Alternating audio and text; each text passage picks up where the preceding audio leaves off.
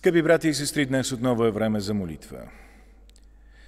Ще започнем с Псалм 76. Познат е Бог в Юдея, в Израил е велико името му.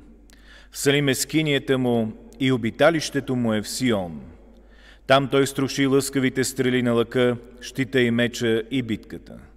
Светъл се явяваш, о славни, от хълмовете с плячка – Корвосърдечните бяха обрани, заспаха във вечния си сън и никой от тяките мъже не намери ръцете си. От Твоето мъмрене, Боже Яково, впаднаха в дълбок сън и колесници и коне. Ти самия, ти си страшен и кой може да устои пред лицето ти, когато се разгневиш?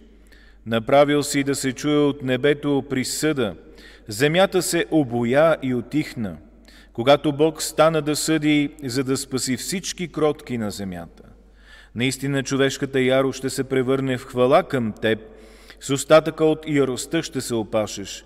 Обричайте се и изпълнявайте оброците си на Господа вашия Бог. Всички, които са около Него, нека принасят дарове на достопочтаемия. Той снишава гордостта на князете, страшен е за земните царе. Амин. Нека да чуем и отказ от Евангелието според Лука, петата глава от 17 до 26 стих. И през един от тези дни, когато той получаваше, там седяха фарисеи и законоучители, надошли от всяко село на Галилея, Юдея и от Ярусалим. И Господната сила беше с него да изцелява. И ето мъже, които носеха на постелка един болен човек, който беше парализиран и се опитваха да го внесат вътре и да го сложат пред него. Но понеже не намираха откъде да го внесат вътре поради навалицата, качиха се на покрива и през покрива го спуснаха с постелката на средата пред Исус. И той като видя вярата им каза, човече, прощават и се греховете. Тогава книжниците и фарисеите започнаха да разискват думите му, като казваха, кой е този, който богохулства? Кой може да прощава грехове, освен един Бог? Но Исус, като видя разискванията им, им отговори, за какво размишлявате в сърцето си? Кое е по-лесно да се каже, прощават и се греховете, или да кажа, стани и ходи? Но за да познаете, че човешкият син има власт на земята да прощава греховете, каза на паралитика, казвам ти, стани, вдигни постелката си и иди у дома си. Иначе се той стана пред тях, дигна това, на което лежеше и отиде у дома си, като славеше Бога. И те всички се смаяха и славеха Бога и изпълнени със страх казваха, днес видяхме удивителни неща. Амин. Нека да чуем и размишлението от ежедневното молитвено ръководство Духовна манна за днешния ден, вторник, 7 декември. Преди известно време семейството ни загуби снаха ми Евелин и тя много ще ни липсва.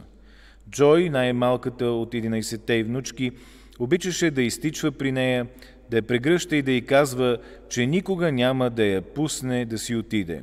Също като приятеля на паралитика от днешната история, синът ми Майк седмици наред се бореше заедно с болничния персонал с ужасната болест, която убиваше снаха ми. Накрая сърцето и бъбреците й отказаха. Не сме готови да се сбогуваме с хората, които обичаме. Но ако вярваме в Бога и следваме Неговото Слово, този товар става малко по-лек. Тъй като съм благословена с дълъг живот, съм преживяла много загуби. Помня как и майка ми тъгуваше, че остава една от последните от своето поколение. Но тя всеки ден записваше в дневника си, този денят, който Господ е създал, нека се радваме и се развеселим в него. Трябва да ценим дните си с благодарност, че Бог е в нашия живот.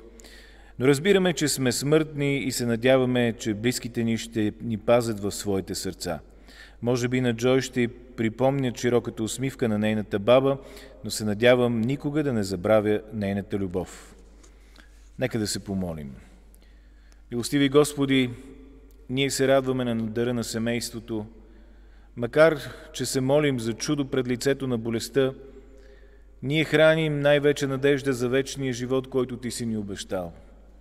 Защото всички ние преминаваме през много трудности, страдания и загуби – доста често не знаем каква е причината и смисъла на всичко това, което ни се случва, но помогни ни дори в такива моменти да се доверим на Теб и да търсим Твоята отеха. Всичко това молим в името на Отца, Сина и Святия Дух. Амин. Желая ви приятен ден и нека Бог да бъде с всички нас.